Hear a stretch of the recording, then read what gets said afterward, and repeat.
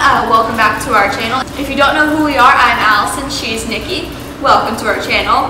Uh, go ahead and click that lovely subscribe button because eventually you'll want to, I promise. Today we made this really cute watermelon tray and then this awesome strawberry lemonade. This tray costs $2 to make, so if you think it's cute, there's really no excuse not to make it. So if you want to know how to make these, go ahead and keep watching. So what you're gonna need is a circle tray, a paintbrush, and then two different colored paints. We chose this parakeet green and pink Easter because it made the perfect watermelon colors. We wanted something very bright and summery. Starting off with the pink paint, I just painted the whole entire tray pink. The paint dried really fast, so this was really easy to do. And it only needed one layer.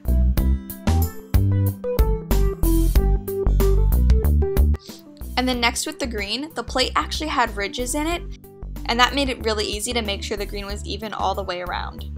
We did have to do this a couple times because the paint wasn't working with us well, but once we got it, I think it turned out really nice. And the seeds were the easiest part. Once it dried, which only took a couple minutes, I just drew little teardrop shapes all over the plate to make the seeds.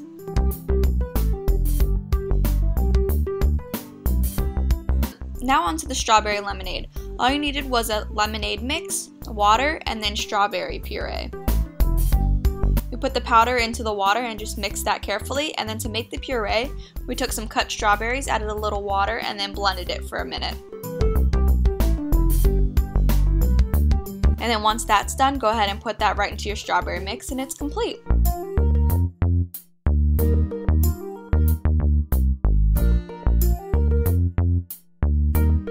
We each added a strawberry for garnish, which tastes really good and then it just looked cute.